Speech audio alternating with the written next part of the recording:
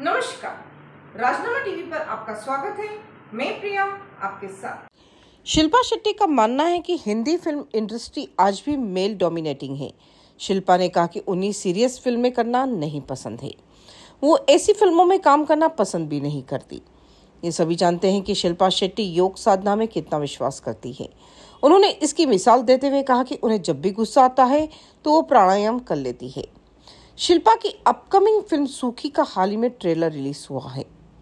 ये फ़िल्म ऐसी लड़की पर आधारित है जो बेधड़क, बेपरवाह, बेशर्म सी है।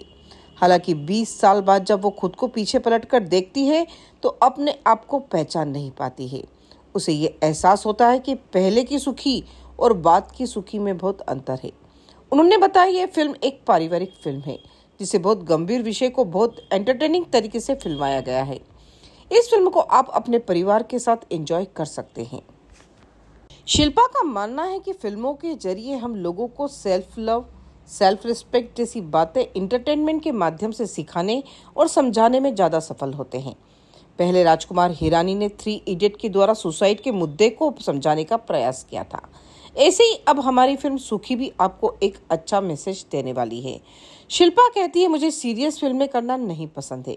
क्योंकि एक दर्शक बनकर मैं सीरियस फ़िल्में एंजॉय नहीं करती हूँ।